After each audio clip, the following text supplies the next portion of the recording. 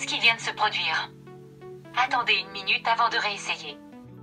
Bonjour à tous et merci de regarder cette vidéo. J'espère que vous allez bien. Aujourd'hui, on va voir un petit concours entre les deux assistants vocaux. À notre gauche, on va avoir Google Now de chez Google et à notre droite, on va avoir Siri de chez Apple.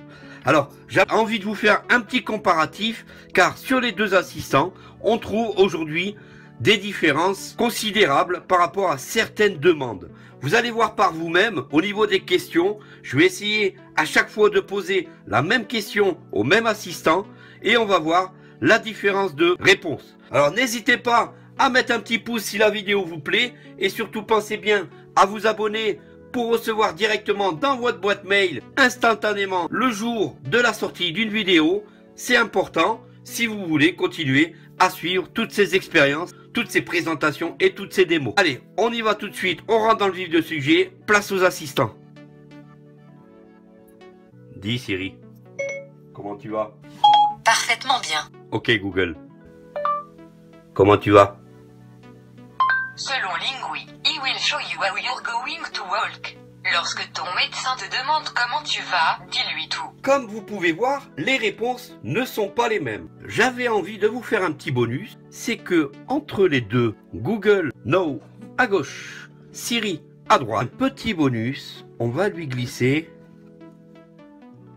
Cortana. Avec Cortana, on va maintenant, on a réellement les trois assistants vocaux actuels. Une petite différence par rapport à Siri, Google No, c'est que Cortana, on n'a pas le mot-clé sur les portables et Cortana ne fonctionne pas. Il va falloir appuyer physiquement sur le bouton complètement en bas à droite. Bonjour Cortana. Bonjour, que puis-je faire pour vous? Et voilà, ici, la réponse très bonne de Cortana. On va passer donc à la suite. Alors, on a donc les trois téléphones alignés et on va continuer le test. Dis Siri. Programme un rendez-vous mercredi prochain de 9h à 18h, démonstration braille. Très bien, je programme votre rendez-vous intitulé Démonstration braille pour le 22 février 2017 à 9h. Dois-je confirmer? Oui, C'est désormais dans votre calendrier pour le 22 février 2017 à 9h. L'événement s'appelle Démonstration braille. Suite, Cortana. Programme un rendez-vous mercredi prochain de 9h à 18h, démonstration braille. Quel titre voulez-vous lui donner? Démonstration braille. J'ajouterai démonstration braille à votre calendrier de 9h à 18h mercredi. Est-ce que cela vous convient? Oui, Excellent. ok Google. Programme un rendez-vous mercredi prochain de 9h à 18h, démonstration braille. Confirmer, appuyez sur l'écran. Alors vous voyez ici avec Google, la différence c'est qu'il va falloir confirmer physiquement sur l'écran, sur un bouton OK, pour qu'il valide ce rendez-vous. Dis Siri. Est-ce que j'ai un rendez-vous mercredi prochain? Oui, vous avez un rendez-vous le 22 février 2017 entre 9h et 18h. Dis Siri. Quel est ce rendez-vous? Mercredi à 9h, démonstration braille. Est-ce que j'ai un rendez-vous mercredi prochain? Vous avez un événement mercredi à 9h, démonstration braille. Ok Google. Est-ce que j'ai un rendez-vous mercredi prochain? Vous pouvez appuyer sur l'heure de début. Voilà, donc comme vous pouvez voir, ici Google n'est pas capable de nous répondre sur cette question. Dis Siri. Quelle est la distance entre Paris et Marseille? La distance en voiture entre Marseille et Paris est d'environ 776 km ou d'environ 661 km à vol d'oiseau. Cortana. Quelle est la distance entre Paris et Marseille?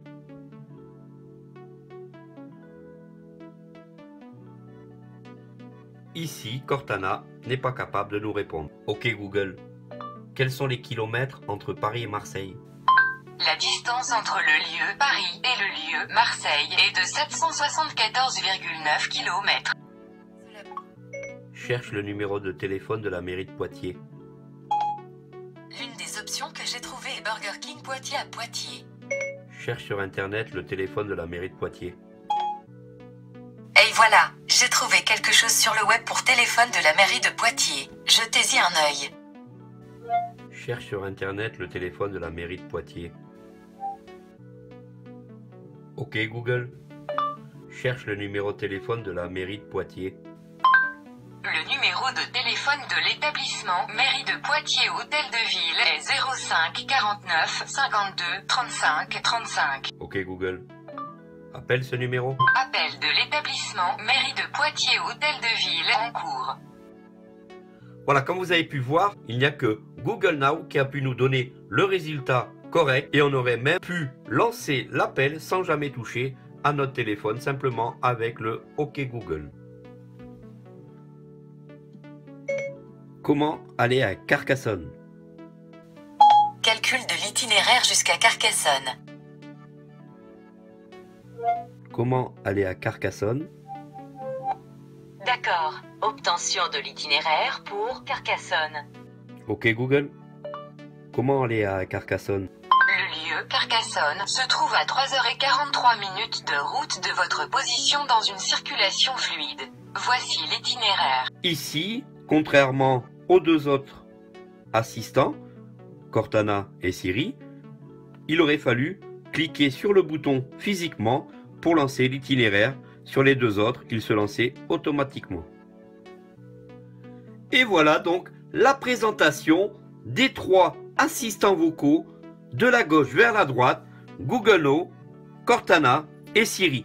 Alors, ils sont tous plus ou moins puissants, ils vont tous plus ou moins faire certaines choses dans notre vie quotidienne, certains seront plus efficaces sur la recherche et sur la façon d'aller rechercher le renseignement sur Internet ou sur la façon de lancer un numéro de téléphone, une recherche d'itinéraire, envoyer un mail, envoyer un message, ouvrir une application. Tous ces assistants sont capables de le faire différemment, comme vous avez vu. Je vous remercie beaucoup d'avoir regardé cette vidéo jusqu'au bout. J'espère qu'elle vous aura plu, qu'elle vous donnera envie de tester vos assistants vocaux.